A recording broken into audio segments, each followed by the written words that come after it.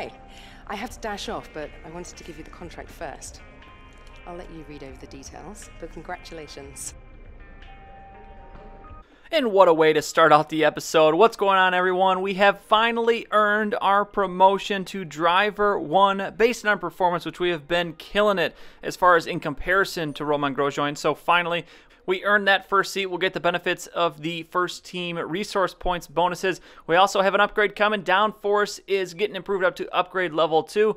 And as we take a look at the car we've got, that's the first one we have over to. We got to work on the fuel efficiency and the chassis weight yet. But looking at the vehicle comparison, you can see us right there still in the middle of the pack. We're just behind Red Bull, so it looks like we'll be able to catch them pretty quickly. And then there is another small jump up there to Toro Rosso, and then a bigger jump. Williams now the third best team. Ferrari still behind Mercedes, so we've got a ways to go before we can really compete with those big name teams. But we'll try to earn the resource points as quickly as we can.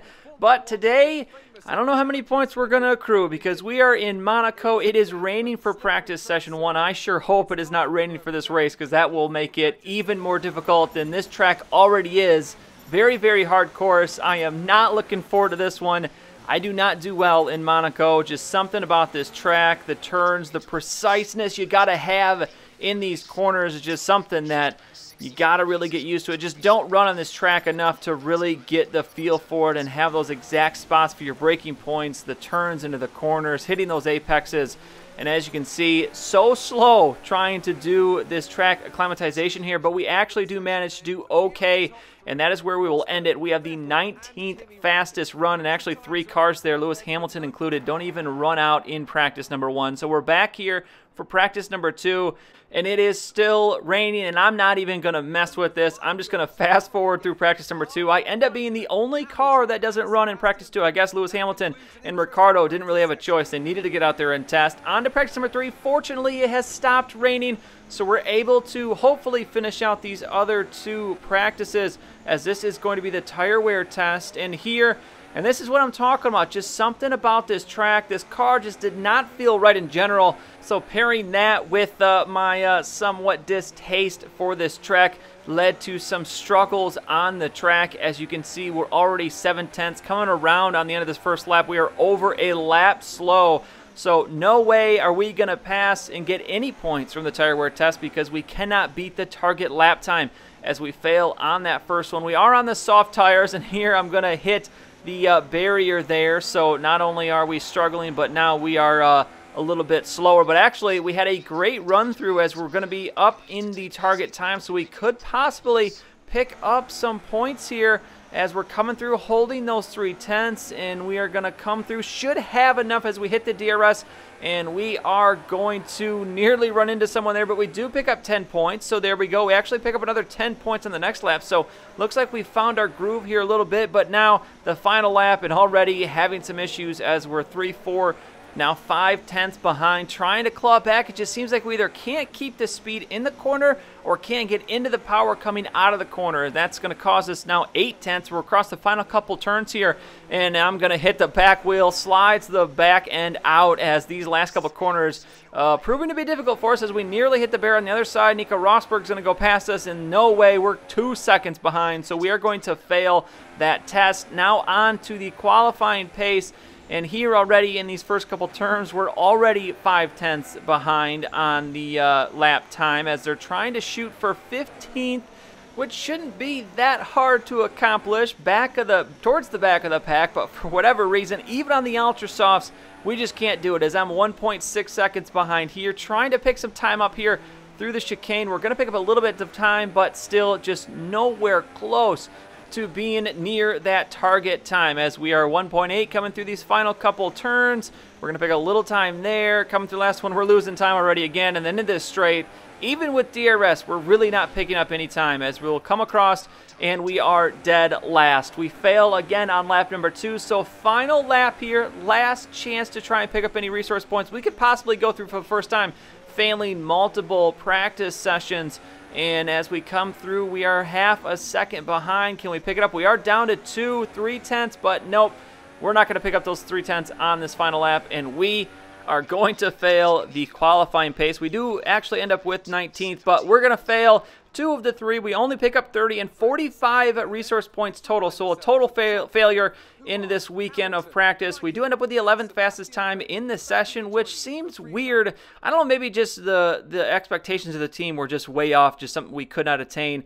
They want us to qualify 11th, which uh, no way is that going to happen. They want us to beat Sebastian Vettel as well. Also, not going to happen. I would be incredibly surprised if we qualify honestly any higher than 19th. We would really, really have to throw in a really good run, or the other cars are going to have to fail. But here we go. Out for the one shot qualifying lap. Sebastian Vettel is in first, so that's not a good sign for us as we'll see him interchange between Rosberg and Lewis Hamilton. We are currently in 22nd as we're shooting for 11th, and that's. Uh, and we couldn't be farther away from it at this point as we're coming around into the uh, tunnel here. Still in 22nd. We're really, really going to have to dive in to the chicane here on the bottom of the hill as we've got to pick up some time. And this is a great place to do it as I'm going to uh, cut the corner there. We don't get in trouble but I'm still in 22nd. We were in 21st for a second there, but actually coming across these final couple turns, we've managed to move up to 18th, even with kind of screwing up that second to last turn. But here we go into the DRS, down the straight. Can we keep 18th place? It's a bit disappointing, but we just need to push hard in the race and we can still come away with something. Yes, we will. 18th place. Our teammate qualifies 11th. Vettel qualifies 3rd. And there we are back in 18th. So looks like we are uh, officially going to lose our rivalry to Sebastian Vettel. No surprise there, but this is going to stink because we'll continue to be his rival until we can beat him. So who knows how long that will take? And also, because of our performance, we're finally going to move off of the 10 here in the driver position. We're going to lose all three of these. So, a complete and total failure here so far.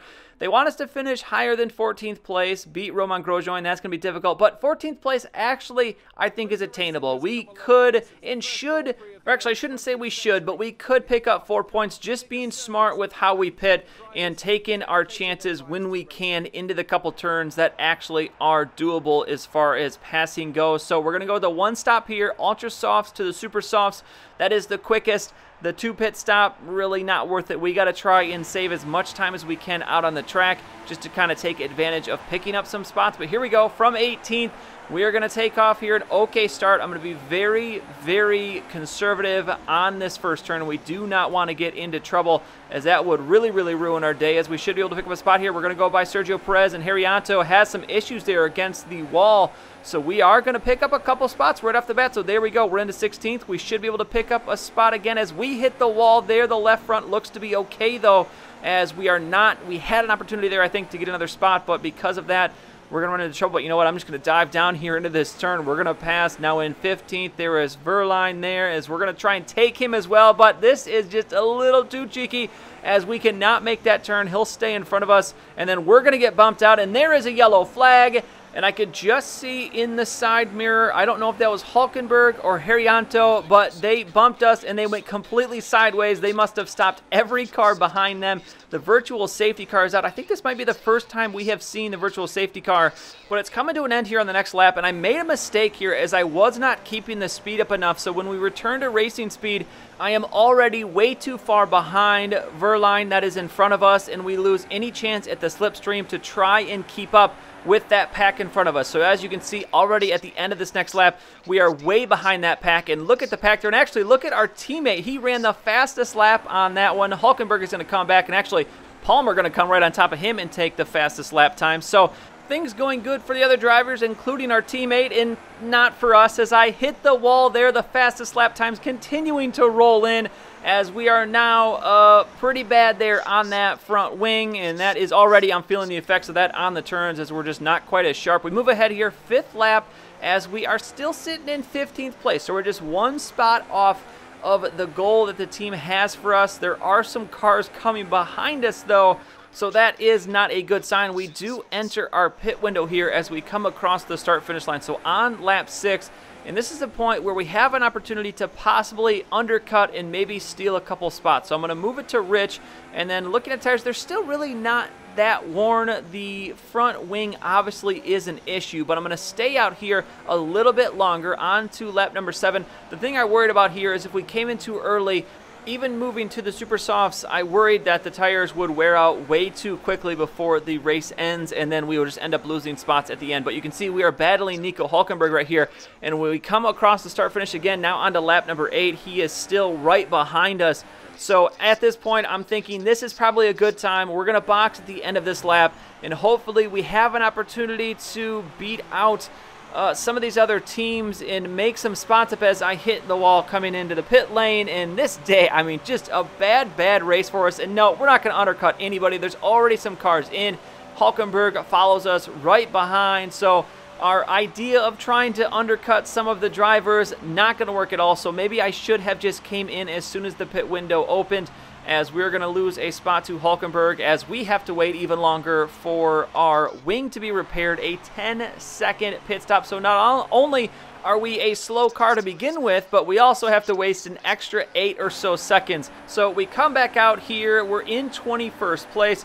Coming around, we are going to pick up a spotter. We should here on Nasr as he is going to be slow coming up that hill. We will move into 20th place, but at this point, there's 10 laps remaining and I don't think we have a very good shot of reaching our goal of 14th. Honestly, I would be fortunate to get back to our spot we pitted into, which was 15th, but we'll see what happens. I'm not sure how many teams are going to be on a two-stop, even though considering the speed, well, our speed being a little bit slower and how fast some of these other cars are going, they might have an opportunity, especially for the leaders, to do a second stop and still beat us back out onto the track. So uh, at this point, it's just kind of damage control. We try and get as high as we can while also trying to avoid any trouble as I'm sure, well, I can almost guarantee this is not going to be a points day for us. This will be the first race, I believe, where we do not finish in the points. We're still in 20th here as we're on this 11th lap, and we had a couple cars in front of us, the last two obviously behind us, but we're actually looking pretty good here as it looks like Palmer is being slowed by Ericsson in front of us, so we're actually to pick,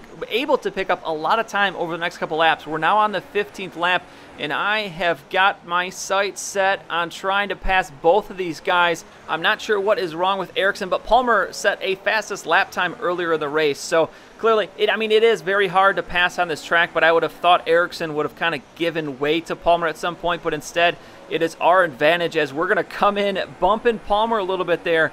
But as I said, it's just impossible, especially right there, impossible to pass. Or I shouldn't say impossible, but very hard to pass there. So we're going to have to try and take our shots when it is available while also trying not to wreck anyone. Don't want to ruin anyone else's day. But here we go into the DRS. You can see we just don't have the straight line speed. Palmer and Ericsson both pulling away from us there, even with the DRS. Although I guess Ericsson, or Palmer, excuse me, would have had the DRS as well. But here we go, 16th lap now. In this one, I, uh, I'm, I'm just going to take a chance there. I do... I'm surprised we didn't get a corner cutting penalty there. I guess we just barely had it. But Ericsson I don't know whether it was because he saw us or what, but he went wide, unnecessarily wide on that turn and hit that outside wall. I don't know if that is maybe an AI thing, as when this comes out, this was the last race before the patch came out. So you'll see over the next couple races the changes in the AI. They uh, made them a little bit more aggressive, a little bit more uh, smart on the track as far as giving way when you're trying to race side by side, which I'm looking forward to because there's some situations where they kind of back off and, let you go when they really shouldn't. But here we go. Last couple laps here, second to last lap, trying to pick up Ericsson here, trying to do the same sort of thing we did with Palmer. That's not going to work, as at this point, the frustration of the race kind of taking over. We do get a warning for the collision, which I'm not surprised by that. But we're in 19th place, trying to get to 18. That still would be a failure, but final lap here. This is going to be our last couple of chances. Lewis Hamilton is your race leader. He obviously loves Monaco uh, much more than we do. But here we go. Last couple laps. We have the shot here. Ericsson. And no, we're not going to catch him now as he gets into the gas, immediately pulls away. And it is going to be a very, very disappointing 19th finish.